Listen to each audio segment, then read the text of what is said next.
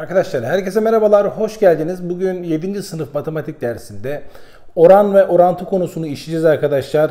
Dersimize geçmeden çok kısa bir ricamız var. Bu tür videoların devamı için kanalımıza ücretsiz olarak abone olup bize destek olabilirsiniz diyorum. Buyurun dersimize geçelim arkadaşlar. Evet, oran ne demek arkadaşlar? Oran şu demek.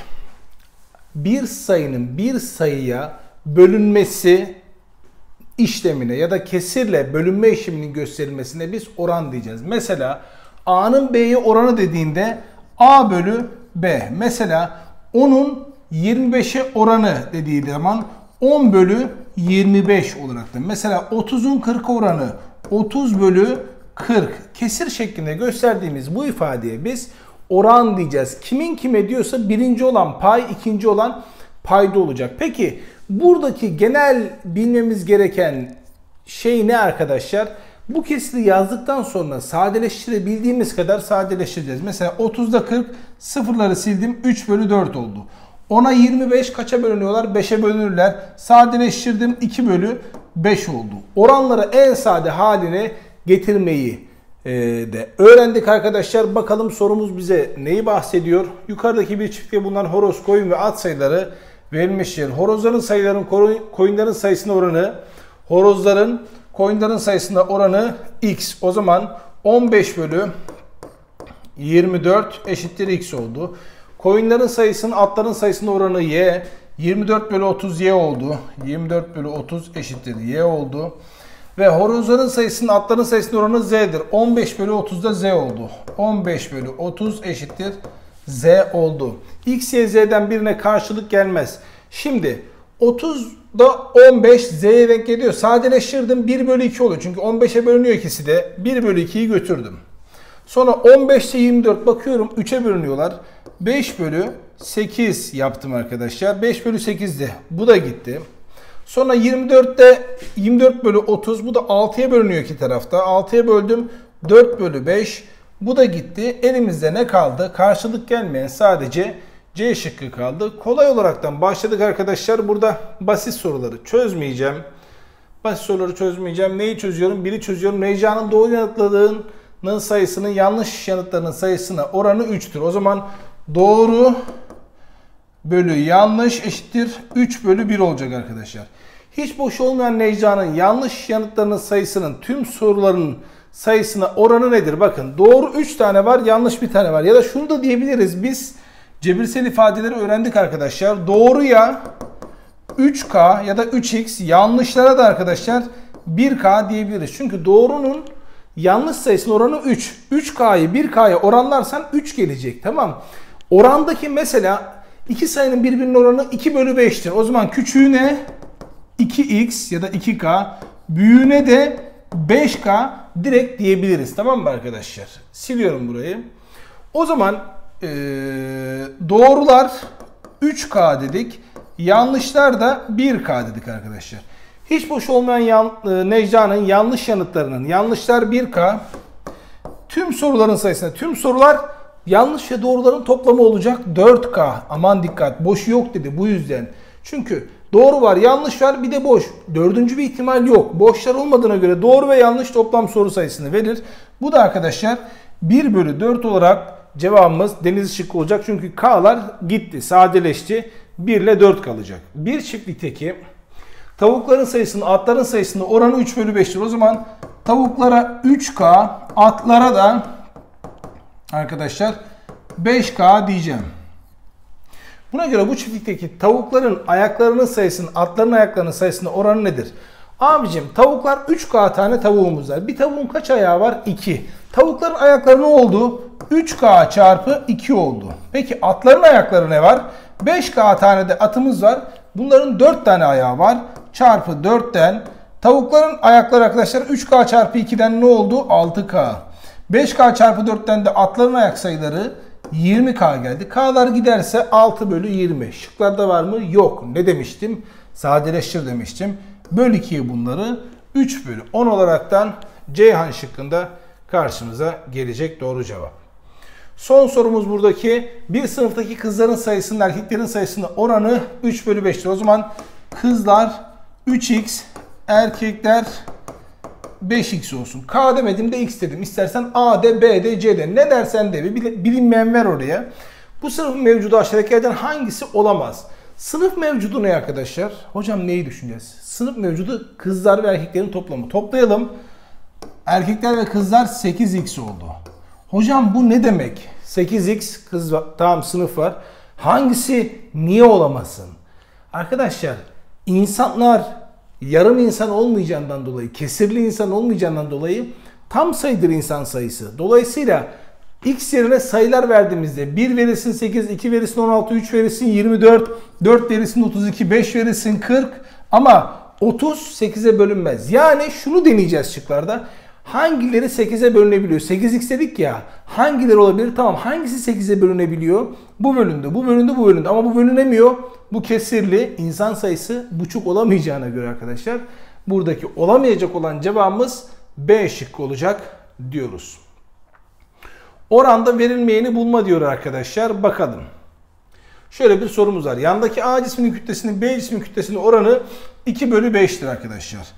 A bölü B bakın 2 bölü 5 oldu. A cismi 1 kilogram olduğuna göre B cismi kaçtır? Burada o zaman eşittir. A yerine 1 geldiğinde B yerine ne kadar x gelecek? Böyle yazıyoruz. Önce oranlarını yazıyoruz. Sonra yeni sayıları yazdığımızda A işte birincinin karşısına birinci, ikincinin karşısına ikinci geldiğinde biz bu arkadaşlar eşitliği çözmeye çalışacağız. Ne yaptık arkadaşlar? İçler dışlar çarpımı yapacağız. 2 ile x, 2x. 5'te 1. Bak bu bununla, bu bununla çarpılıp eşitlenecek. İçler dışlar çarpımı diyoruz buraya. 2x eşittir 5'ten. O zaman x ne olacak? 5'i 2'ye böleceğim. 5 bölü 2 olacak arkadaşlar. B cismi arkadaşlar 5 bölü 2 kilogram olacakmış. Yani burada bizim yaptığımız şey arkadaşlar bakın içler dışlar çarpımı yaptı. Bir örnek daha var diyor. Bir örnek daha var bakın. Şuraya bakalım. 5 kişilik kek yapmak için 135 gram şeker kullanıldığına göre bir kişi o zaman 5 kişiye 135 gramsa arkadaşlar bunun oranı bir kişiye x gram olacak. Tamam. 5x burası çarpıldı burası çarpıldı. 5x eşittir. 135 o zaman x ne olacak arkadaşlar buradan? İki tarafı da 5'e böldüğümüzde 27 o zaman 27 gramlık şeker gerekecek diyeceğiz. Oran sorularımızı böyle yapıyoruz arkadaşlar. İçler dışlar çarpımı ve daha sonra çözümleri bulacağız. Verilmeyeni bulun diyor. İçler dışlar yapıyorum. 3a eşittir 1 çarpı 60'tan 60. a eşittir 20. Evet 1b eşittir 3 çarpı 7'den 21. b eşittir 21. 3c eşittir 1 çarpı 39'dan 39. 3'e bölüyorum. c eşittir 13. Gördüğümüz gibi çok rahat bir şekilde çıkıyor arkadaşlar sorular. Buraları geçmeyeceğim. Sağdaki soruları testlerimi yapacağım. Diyor ki bir sınıftaki kız öğrenci sayısının erkek öğrenci sayısının oranı 1 bölü 2'dir. O zaman kızlar arkadaşlar şöyle kızlar x erkekler 2x. Kızların erkek öğrenci sayısının oranı kızlar 1x erkekler 2x. Bu sınıfta 14 erkek öğrenci olduğuna göre sınıf mevcudu kaçtır? Abicim erkeklere 2x demiştik. 2x eşittir 14 ise 2'ye böl x eşittir 7'dir. O zaman erkekler 2x'ti. 14 kızlarda x'ti. 7. E, sınıf mevcudu ne olacak arkadaşlar? Kız ve erkek sayısının toplamı Denizli şıkkı 21 cevabımız gelecek diyoruz. İkinci sorumuz ve bu bölümün son sorusu oluyor burası da. Yukarıdaki kareli zeminde boyalı bölgenin alanı 72 cm kare olduğuna göre boyasız bölgenin alanı ne kadardır? 1, 2, 3, 4, 5, 6, 7, 8. Arkadaşlar bunlara x desem 8x eşittir. Şöyle diyeyim. 8x eşittir. 72 ise boyasız bölgeyi soruyor. Boyasız bölge kaç tane var? 1, 2, 3, 4, 5, 6, 7, 8, 9, 10, 11, 12, 13, 14, 15, 16, 17. Bana 17 x'i soruyor arkadaşlar. 8x 72 ise 17x eşittir nedir? Şunu yapabilirsiniz. 8'e 72 ise 17'ye kaçtır da diyebilirsiniz. Ya da 8x 72 ise x'i bulalım. Bir tane bölge, bir tane bölge ne kadar olacak? x eşittir arkadaşlar. 8 çarpı 9'dan 72'yi verecek sayımız 9'muş. O zaman 17x ne olacak? 17 ile de 9'u çarpacağım ben. Çünkü bir bölmenin alanının 9 olduğunu buldum. 90 Ee, 63 de arkadaşlar 153 santimetre kare C şıkkında verilecek diyoruz. Devam ediyoruz arkadaşlar. Orantı. Orantımız da şu. Biz az önce birinci ifadede A bölü B eşittir işte 2 bölü 3 dediğimizde içler dışlar çarpımı yapıyorduk ya arkadaşlar. Aynı şekilde içler dışlar çarpımının eşit olduğu e, oranlara biz orantı yapıyor diyeceğiz. Yani aynı oranı taşıyor. Mesela arkadaşlar şöyle göstereyim. 1 bölü 2 var. Bunun genişletilmiş hali 2 bölü 4. 3 de genişlet. 3 bölü 6. 4 de genişlet. 4 bölü 8. İçler dışlar çarpımı yaptığımda 2 çarpı 2 4. İçler dışlar yapıyorum. 4 çarpı 3 12. 6 çarpı 2 12. 6 çarpı 4 24. 8 çarpı 3 24. Bunlar her biri birbirleriyle orantı yapacaklar. Neden? Oranları aynı. En sade halleri aynı. Bu mantığı buradan getireceksiniz arkadaşlar. En sade halleri aynı olan şeyler, kesirler bir orantı oluşturacaktır. Tamam mı arkadaşlar? Orantıyı da yakalamak için en kolay yapacağımız şey içler dışlar çarpımı. Evet içler dışlar 2 çarpı 7 14 1 çarpı 14 14 bu orantı. 2 çarpı 12 24 3 çarpı 8 24 orantı. 3 çarpı 16 arkadaşlar 48. 4 çarpı 9 36 orantı yok. 4 çarpı 25 100. 5 çarpı 20 100 arkadaşlar. Bu da bir orantı oluşturdu. Orantıyı gördüğümüz gibi basit halini göstereyim. Mesela bunu sadeleştirelim arkadaşlar. 4 ile 5 ile sadeleştir. 4 bölü 5 aynı hale geldi mi? Aynı hale en sade halleri aynı hale geliyorsa bu bir orantıdır. Bunu da yakalayın. Ee, basit çözmek için de içler dışlar çarpımını çok rahat kullanabilirsiniz diyorum arkadaşlar. Burada burada orantıyla bilinmeyeni bulunuz diyor arkadaşlar. Ne yapacağım? İçler dışlar çarpımı yapıyorum ben. Ya da şöyle bakın. 8 24 A eşittir. 24 A eşittir. 72 diyebilirsiniz. 24'e böldüğünüzde A'nın 3 olduğunu bulabilirsiniz. Ya da şöyle yaptım. Bu bir orantı olduğuna göre 3 katına çıkmış. Bu da 3 katına çıkınca 9 olacak şey nedir? 3'tür. Ya da 3'e böl 8, 3'e böl bu. Mesela buraya bakıyorum. 8'e bölmüş 3, 8'e bölmüş 4. Böyle de yakalayabilirim. İçler dışlarla mesela 24B eşittir 96 derim arkadaşlar. 96'yı 24'e böldüğümde 4'ü de bulabilirim. Bana bu daha kolay. Geliyor arkadaşlar bakın. 6 katına çıkmış. 6 katına çıkacak. 2C o zaman ne olacak? 30 olacak. C'miz ne oldu? 15. Ya da içler dışarı çarpımından 4 çarpı 2C nedir? 8C. 5 çarpı 24 nedir arkadaşlar? 120. 128'e bölersen 15 olduğunu bulursun. Peki buraya bakıyorum. Dikkat 3'e katlamış 12 bunu da 3'e katlayacağız. O zaman d eksi 1 eşittir 3 olması lazım. Doğru mu? Biz cebirsel ifade ve eşitlik denklem konusunu biliyoruz buraya geldiysek. Bilmiyorsak açıklama kısmındaki videoya tıklayıp oraları izleyebiliriz arkadaşlar. Karşıya atıyorum eksi 1'i d eşittir 4 dedim. Buraya bakıyorum 3 katına çıkmış. Bu da o zaman ya da şöyle bakalım buradan buraya gelirken 3'e bölünmüş. Bu da 3'e bölünecek. 3'e bölersen 6 o zaman e artı 3 6 olacaksa e sayımız buradan 3 gelecektir karşıya attığımızda.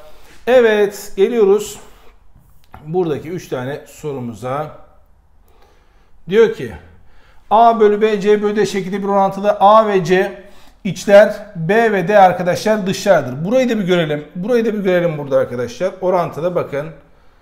İki oranın eş olmasına orantı diyoruz burada arkadaşlar. A ve D orantının dışları, B ve C orantının içleri olaraktan. Bakın şunlar dışlar, bunlar içler.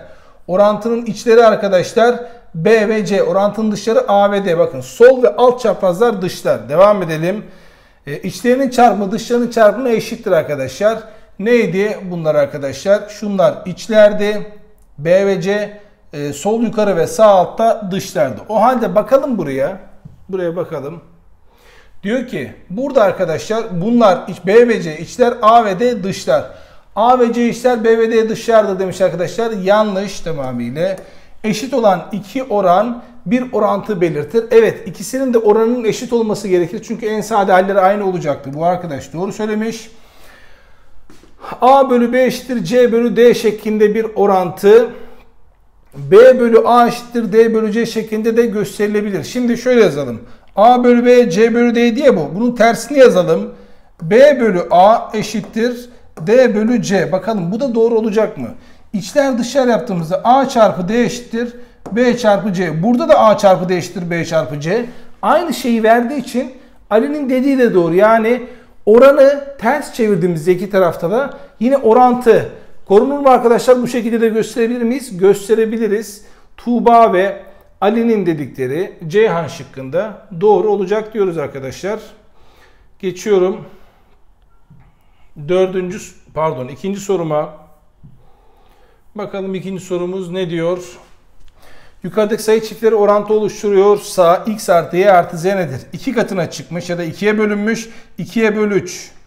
Aynı kalmış aynı kalacak 7. 5'e bölünmüş 10, 5'e böl 9. Gördük mü arkadaşlar? Nasıl rahat bulunuyor? 3, 7 ve 9. 3, 7 ve 9. 10, 19 etti. B şıkkında diyorum. Üçüncü ve bölümün ve videonun son sorusu. X'in değeri kaçtır? Hocam 3'ten 2'ye gelmiş. 3'te 2'si olmuş. Aslında 18'de 3'e bölüp 2 ile çarpabilirsiniz mesela. 3'e böldüm 6 2 ile çarptım. Burası 12'dir deyip de çözebilirsiniz. Ya da ben uğraşmak istemiyorum. İçler dışlar yapacağım. 2 çarpı 18 içleri çarptım. Dışları çarpıyorum. 2x çarpı 3. Ne oldu burası arkadaşlar? 36 eşittir. 2x ile 3'ü çarparsam 6x oldu. X buradan 6 değerini verdi. B şıkkında diyorum arkadaşlar. Birinci videomuzun sonuna gelmiş olduk. İkinci videomuzda oran ve orantı konusunu devam edeceğiz arkadaşlar. Beni dinlediğiniz için teşekkür ediyorum. Bir dahaki dersimizde görüşmek üzere. Tüm öğrencilerimize başarılar diliyorum.